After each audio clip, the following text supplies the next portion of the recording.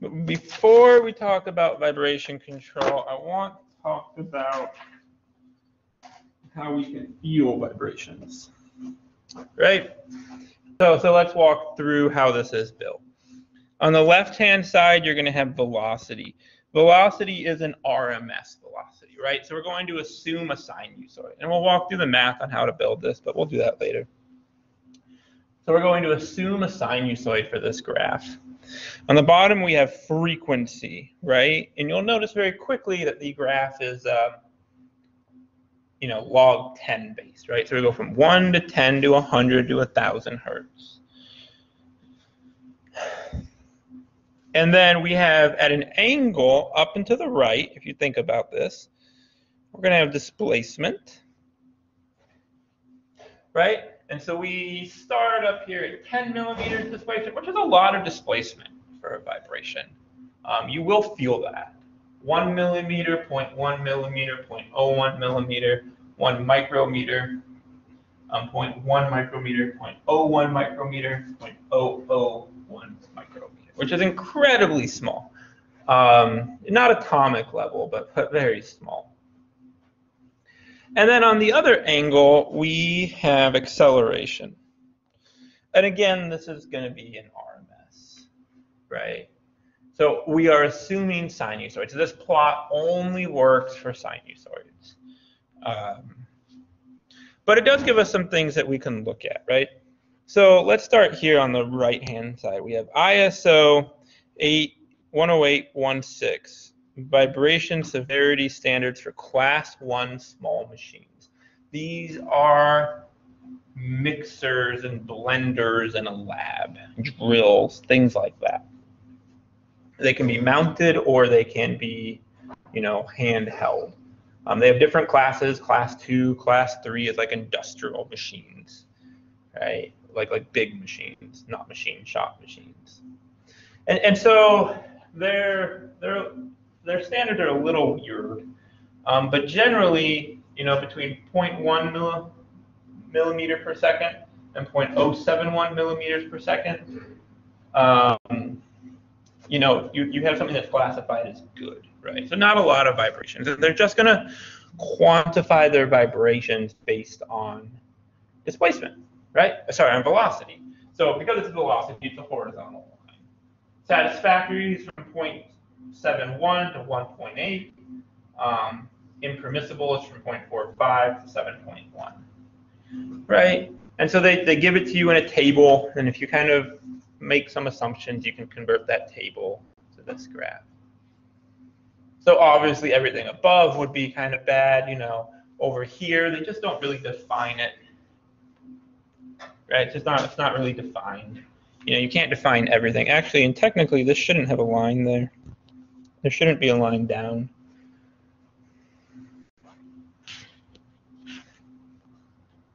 Maybe I can just gray it out. There we go. Um, okay, so I mean, that, that works for small machines. So let's look at this ISO 4866. This is one that's fun because it's um, vibration and shock of fixed structure. So something that, at least in my mind, I understand, um, or, or, I think I understand. And, and you notice that the threshold for shock of a structure is velocity based. Um, and is, is in your unsatisfactory region of a like mixing drill, right? So, and that makes sense, you know. If, if you think about like a like a really rough drill, okay, you could, if you have sustained levels of vibration on a structure, that would damage the structure. You could crack sheetrock, things of that nature.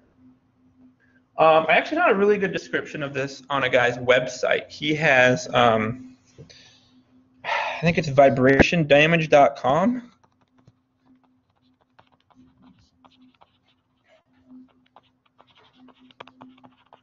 Is a weird website. I was like, who in the world puts together a vibrationdamage.com website? And it's updated and it's good. Um, my theory is that he's actually just a professional engineer and does a lot of court cases, right? So when one insurance company sues another insurance company, you hire an expert, and the expert agrees with whoever hires them, and they come in and they expertise and collect their paycheck. Not a bad gig. No one's going to jail. You're not putting innocent people away or anything, you know. It's insurance money. How bad could it be?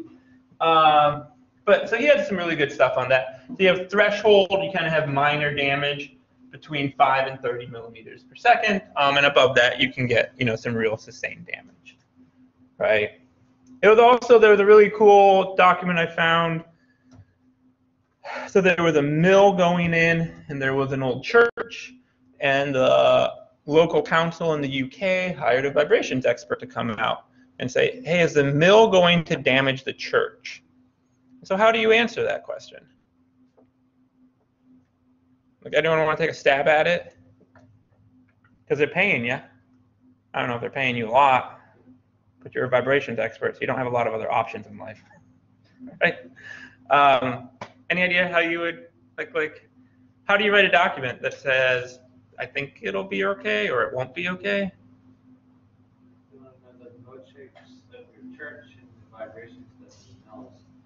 The mode shapes affect damage?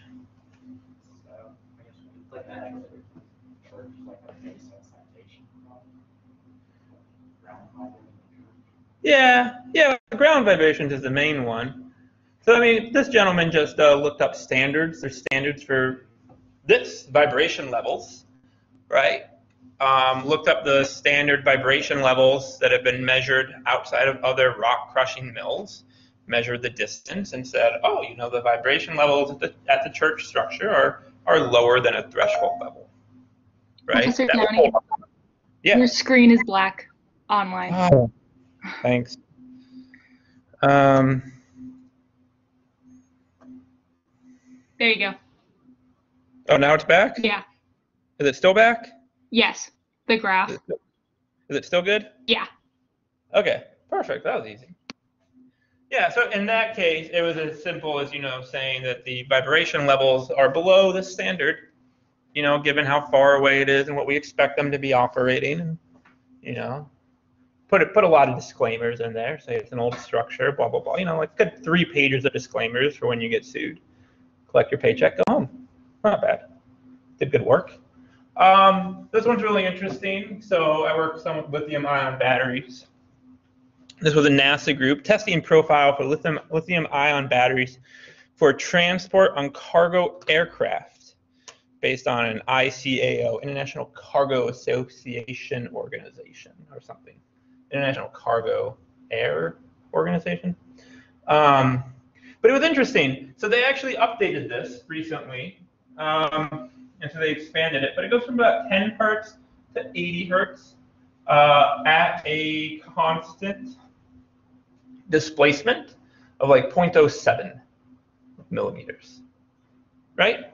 So they just that's that's all that's what they consider um, you know, to be a test, a good testing profile for transporting lithium ion batteries in an airplane.